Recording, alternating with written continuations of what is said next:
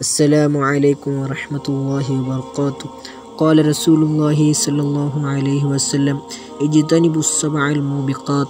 قالوا يا رسول الله وما هن؟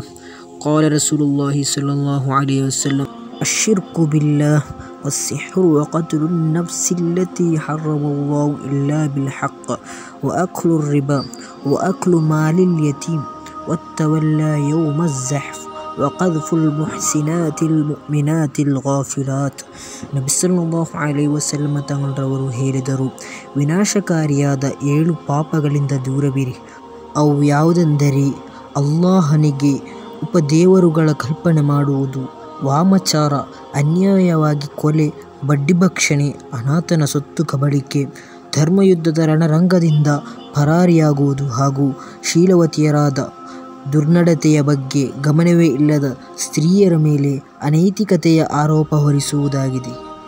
ಬೇಡ, ಎಂದಿಗೂ ಬೇಡ.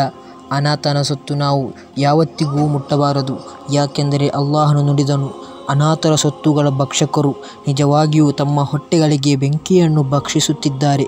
ಹೊತ್ತಿ ಉರಿಯುವ ನರಕಕ್ಕೆ ಅವರು ಪ್ರವೇಶಿಸಲಿದ್ದಾರೆ.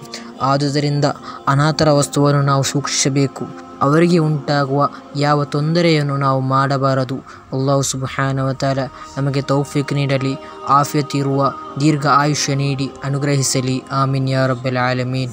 ಇಂತಹ ಹದೀಸುಗಳನ್ನೊಳಗೊಂಡ ವಿಡಿಯೋಗಳಿಗಾಗಿ ಚಾನಲ್ಗೆ ಸಬ್ಸ್ಕ್ರೈಬ್ ಮಾಡಿ, ಪಕ್ಕದಲ್ಲಿರುವ ಬೆಲ್ ಐಕಾನನ್ನು ಆನ್ ಮಾಡಿ.